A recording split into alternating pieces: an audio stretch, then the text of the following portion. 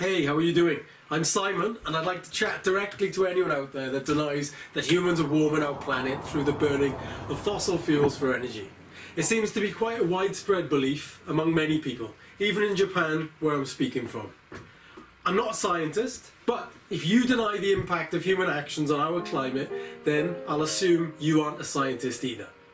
So I'm not here to discuss the science, although if anyone wants to drop a comment in the box below, we can discuss it there. I'm just here today to mention a few things to you. Bear with me. If, after the video, you still want to deny human-caused climate change, well, we'll get to that later.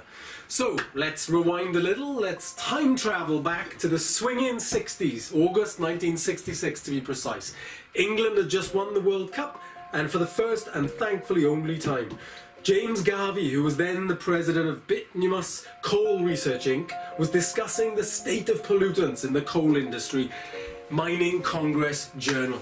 Incredibly, at the outset of his article, he is very candid about the far-reaching aspects of the air pollution problem. Now, remember, this is 23 years before climate change became publicly known.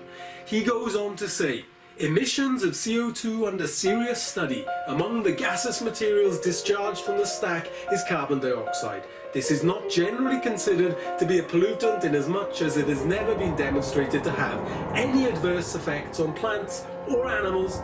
However, to illustrate the far-reaching aspects of the air pollution problem, it should be noted that serious studies are underway to determine whether more restrictions should be placed on the emissions of carbon dioxide to the atmosphere. There is evidence that the amount of carbon dioxide in the Earth's atmosphere is increasing rapidly as a result of the combustion of fossil fuels.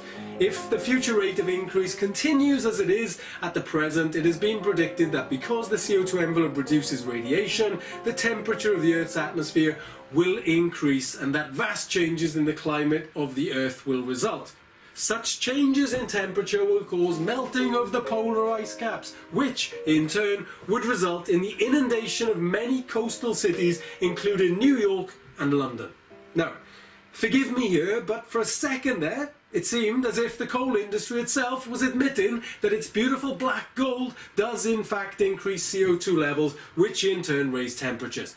Boom! For most people, that is what in the industry is called a smoking gun. But not for Scotty in marketing, no, that's bullshit. So, let's get back in our time machine and fast forward a bit. Off we go to 1982, two weeks before Michael Jackson released his album Thriller. The world's largest oil company ExxonMobil was releasing its own thriller titled CO2, Greenhouse Effect.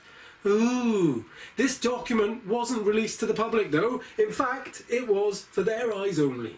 In this secret document, the company's manager of environmental affairs programs, MB Glaser, states the following. The buildup of CO2 in the atmosphere has been monitored continuously at the National Oceanic and Atmospheric Administration's NOAA Observatory at Mauna Loa, Hawaii and periodically in other places since 1957, in addition to observing a trend between 1957 and 1979 that showed atmospheric CO2 increasing from 315 to 337 parts per million, and that there is little doubt about these observations indicate a growth of atmospheric CO2.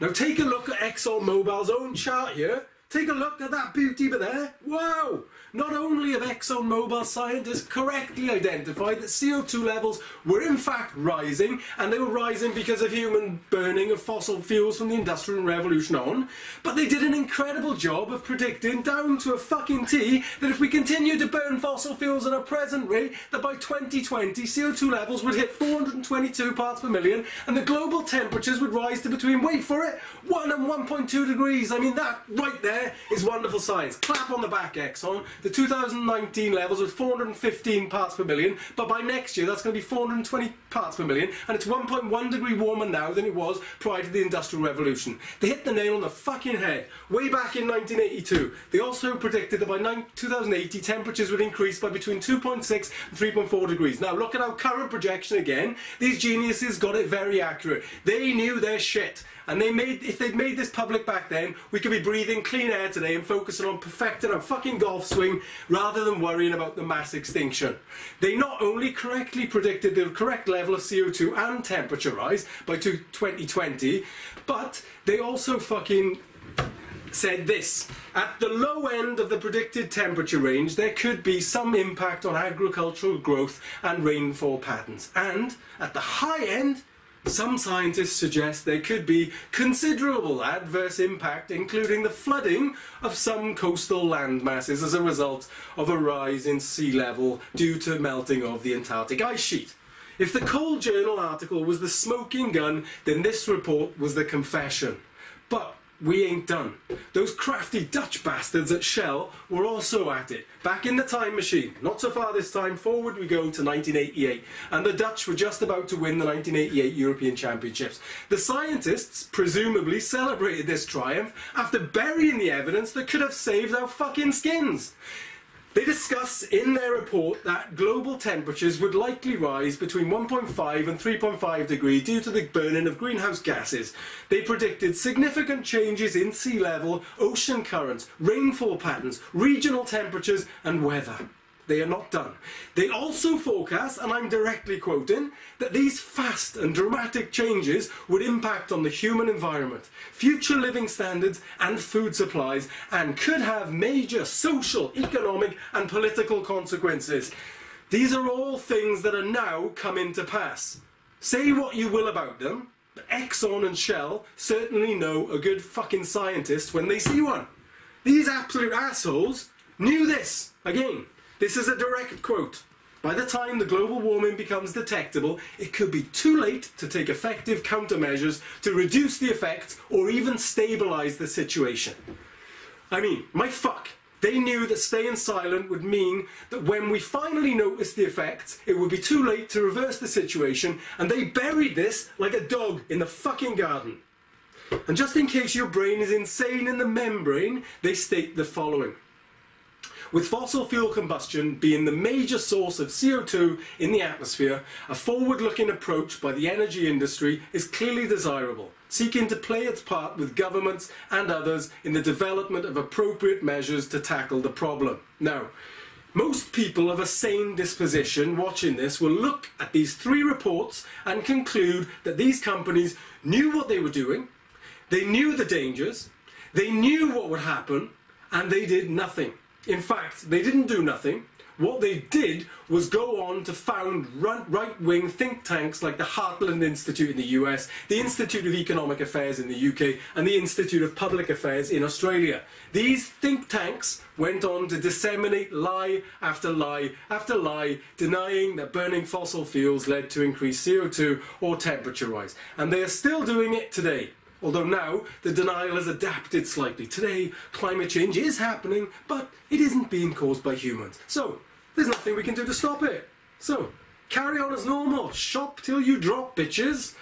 This should be enough evidence for any man, woman, or child of reasonable mental faculties to conclude that climate change is real and is being caused by our burning of fossil fuels. But no, not for Scotty in marketing or Dave down the bastard pub.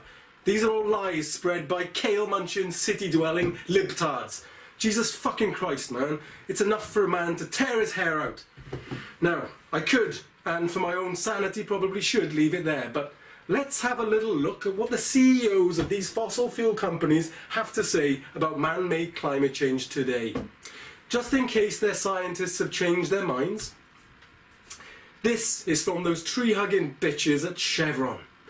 We recognise and share the concerns of governments and the public about climate change. There is a widespread view that the increase in atmospheric greenhouse gases is a contributor to climate change, with adverse effects on the environment. This is ConocoPhillips, we recognise that human activity, including the burning of fossil fuels, is contributing to increased concentrations of greenhouse gas in the atmosphere that can lead to adverse changes in global climate. ExxonMobil in 2014, the risk of climate change is clear, and the risk warrants action. Also ExxonMobil in 2014, we know enough, based on the research and science, that the risk is real and appropriate steps should be taken to address that risk. Here is Shell, CO2 emissions uh, must be reduced to avoid serious climate change. To manage CO2, governments and industry must work together. Government action is needed and we support an international framework that puts a price on CO2, encouraging the use of all CO2 reducing technologies. I mean, I could go on and on. All this information is in the public domain. Not just the fossil fuel companies themselves are in agreement that human activity is causing the planet to dangerously warm, the financial institutions that are themselves financing this extraction also agree. Here is JP Morgan on 21st of February this year, yesterday. We cannot rule out catastrophic outcomes where human life as we know it is threatened. It's a global problem, but no global solution is in sight, their report added. No solution in sight! What glasses are these twats wearing? The solutions are right here, shining on us, blowing on us, washing over us. The only reason we're in the disastrous situation today is because of the downright lies that these corporations have spread so that they can continue to make huge profits at the expense of the rest of us. And the only thing that enables these corporations to continue to destroy our future are the dumb fuckers who believe right-wing think tanks and knobhead politicians over the scientists whose salaries we pay to warn us of things like global warming. In closing, let's just look at the situation. The fossil fuel companies admitted in the 60s and 80s that their product, if used at the current rate, would raise CO2 levels and global temperatures. This has already happened. The companies themselves admit today publicly that their product is causing the climate crisis. And their financiers also admit that their burning fossil fuels is causing the current climate emergency. Surely that is case closed. The man in the dock just put his hand up and admitted that he shot the woman on Fifth Avenue in cold blood and then dumped her dead body in the Hudson River. But Scotty from marketing and Dave down the fucking nag's head know better. These are lies. The fossil fuel companies are lying again. They are pretending to be causing climate change, but they aren't really. Why? You tell me, motherfucker!